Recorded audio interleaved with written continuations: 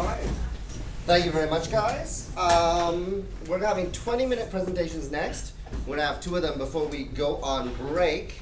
And the first one is uh, Gabriel Tremblay, who's gonna be talking about practical device firmware reverse engineering using Python, part one.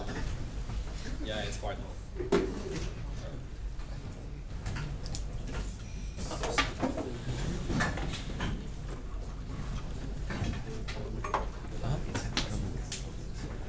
Oh yeah? I don't know how it works. I